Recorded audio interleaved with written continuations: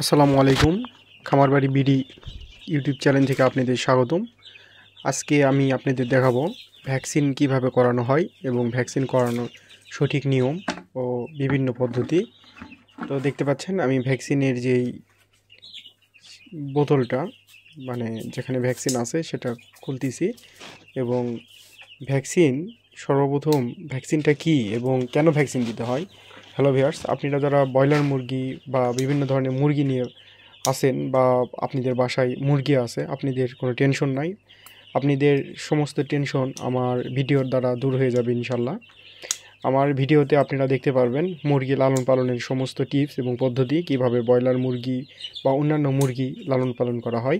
আমি প্রতিনিয়তই মুরগির বিভিন্ন ভিডিও সহকারে আপনাদের সামনে তুলে ধরার চেষ্টা করব। আমার ভিডিওটি দেখলে আপনাদের কোনো টেনশন বা চিন্তা হবে না। আপনি দেখতে পাচ্ছেন আমার এখানে যে কয়টি মুরগি আছে, এই মুরগির জন্য ছোট্ট একটা ভ্যাকসিন নিয়ে আসছি। আমি আপনাদের জন্য এই মুরগিগুলা রেডি করতেছি। প্লাস আপনাদেরকে দেখাবো যে কীভাবে এই শীতের সময় মুরগি লালন পালন করা হয়। আর আমি আশাবাদী, আমি খুব ভালোভাবে মুরগি লালন পালন করার যে ভিডিও এটা আপনাদের সামনে তুলে ধরবো এবং আমার ভিডিওগুলো দেখার পরে আপনারা আর কখনোই মুরগি নিয়ে দুশ্চিন্তা করতে হবে না। কেননা আমার ভিডিওতে আমি প্রত্যেকটা মুরগি বিষয়ক বিভিন্ন বিষয় সম্পর্কে আপনাদের সামনে তুলে ধরবো।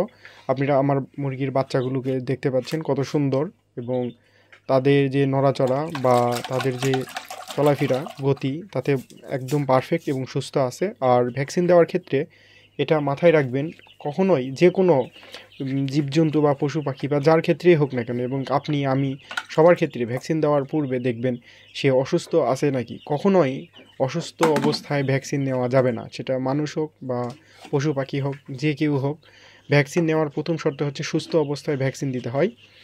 অসুস্থ অবস্থায় কখনো ভ্যাকসিন দেওয়া যায় না। আর আমার যে বাচ্চাগুলো দেখতে পাচ্ছেন খুবই সুস্থ আছে আর আমি নির্দ্বিধায় ভ্যাকসিন দিতে পারতেছি। ভ্যাকসিন দেওয়ার ফলে শরীরে যে অ্যান্টিবডি তৈরি হয়, এর পরবর্তীতে এই যে আমি পাঁচ মানে পঞ্চমতম দিন আজকে আমি মুরগিকে ভ্যাকসিন দিচ্ছি, এই ভ্যাকসিন দেওয়ার ফলে মুরগির শরীরে যে অ্যান্টিবডি তৈরি হবে, আশা করা যায় আমার এই ভ্যাকসিনটা মূলত রানীক্ষেতের জন্য প্রথম ভ্যাকসিন পঞ্চমতম দিনে দিচ্ছি। এটা আশা করি রানীক্ষেতের যে সমস্যা হয় মুরগি ভাইরাসে আক্রান্ত হয় রানীক্ষেতে এটা হবে না, কারণ আমি খুব সুন্দরভাবে এবং সুস্থভাবে ভ্যাকসিনটা করাচ্ছি। ভ্যাকসিন দেওয়া অনেকগুলো নিয়ম আছে, তার মধ্যে সবচেয়ে ভালো যে নিয়ম, সেটা হচ্ছে মুরগিকে ধরে এক চোখে এক ফোঁটা এইভাবে দিতে হয় ভ্যাকসিন, তাহলে ভ্যাকসিনটা কার্যকরী অনেকটা বেশি হয়। এছাড়া আপনি নুনি ছাড়া যে দুধ পাওয়া যায়, গাভীর, সেই দুধের মধ্যে ভ্যাকসিন মিক্সড করে আপনি খাওয়াতে পারবেন। আমি আপনাদেরকে জাস্ট নর্মাল সাদা পানিতে ভ্যাকসিন দিয়ে দেখাচ্ছি যে এইভাবে ভ্যাকসিন দেওয়া হয়। আর লক্ষ্য রাখবেন, ভ্যাকসিন হচ্ছে এক প্রকারের জীবাণু। রানী ক্ষেতের যেহেতু ভ্যাকসিন করতেছি, রানী ক্ষেতের জীবাণু থাকা, জীবাণু থেকেই এর ভ্যাকসিনটা তৈরি করা হয়েছে। সুতরাং ভ্যাকসিনের এক ফোঁটা পানিও যেন আপনি সেটে বা কোথাও যেন না পড়ে, সবগুলো পরিষ্কার করে দিবেন। প্রয়োজনে আপনি ভ্যাকসিন দেওয়ার সময় খেয়াল রাখবেন যে জিনিসপত্র বা আসবাবপত্র আপনি ভ্যাকসিনের ক্ষেত্রে ব্যবহার করবেন, সম্পূর্ণ চেঞ্জ করে দিবেন। তাহলে টেনশন থাকবে না। আর ভ্যাকসিনটা অতি সাবধানে দিবেন। আর ভ্যাকসিন দেওয়ার পূর্বে একটা বড় করণীয় ব্যাপারটা হচ্ছে যে, আপনি ভুল করেও ভ্যাকসিন দেওয়ার আগে হুট করে ভ্যাকসিন দিবেন না। ভ্যাকসিন দেওয়ার মিনিমাম এক থেকে দেড় ঘণ্টা আগে পানি টান মারবেন। খাদ্যের পানির পটটা টান মারবেন বিশেষ করে। তারপরে ভ্যাকসিন দেওয়ার সাথে সাথে মুরগিরা এইভাবে খাওয়া দাওয়া করবে। আর যতটা সম্ভব, যত সম্ভব আপনারা এক থেকে দেড় ঘণ্টার মধ্যে ভ্যাকসিনের পানি খাওয়া শেষ করবেন। ভ্যাকসিন অধিকক্ষণ দেওয়ার নিয়ম নাই বা ভ্যাকসিন অধিকক্ষণ দেওয়া যায় না। তাহলে ভ্যাকসিনে যে জীবাণু আছে, এই জীবাণুটা মুরগিকে ক্ষতি করতে পারে। এই জন্য ভ্যাকসিন দেওয়ার সর্বোচ্চ সময় আপনাদেরকে বললাম এক থেকে দেড় ঘণ্টা।